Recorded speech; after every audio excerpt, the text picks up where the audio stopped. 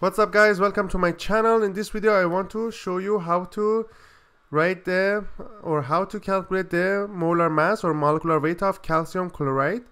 So in order to find the molar mass we need to find the atomic mass of all elements. Calcium is 40.078 and chlorine is 35.45 times 2 because we have two atoms of chlorine and we have one calcium so it's going to be 40.078 and here 35.45 times 2 is 70.9 plus 40.078 that makes it 110.978 grams per mole.